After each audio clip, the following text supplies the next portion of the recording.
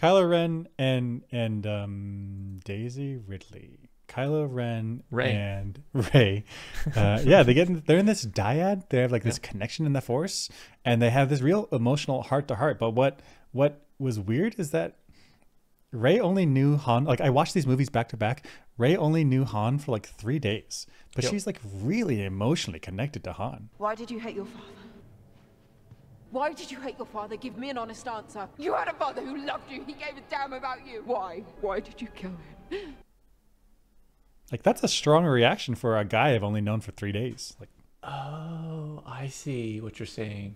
I always interpreted this as she doesn't know Han very well, okay, but her family abandoned her, and she's pissed at Kylo for ab- for killing his her father who stayed and loved him. So she's actually pissed.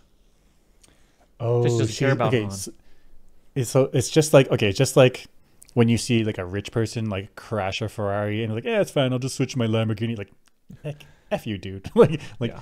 you're you're taking things for granted. Mm-hmm. So she never had parents, and she sees another person murder her fa- his father, and she's like, "F you!" Like "F you."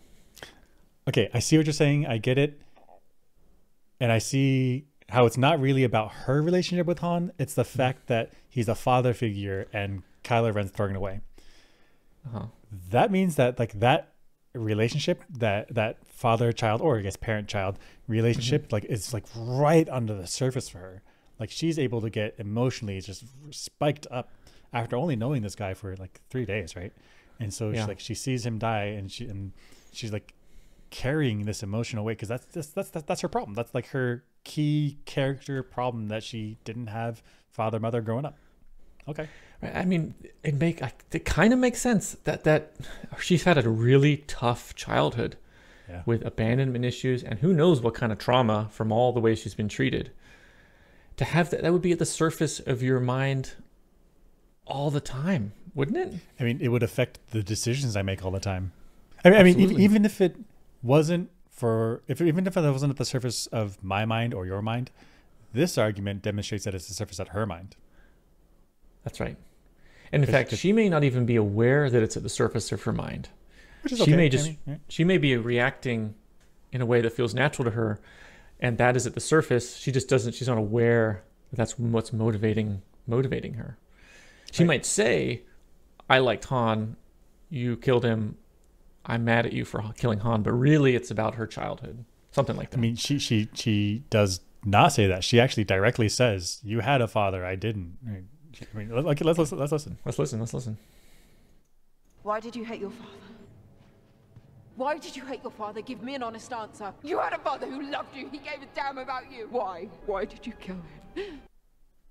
I mean, she said it right there. You had a father. He gave a damn about you. So she has some awareness of what's Mm-hmm. motivating her. I think.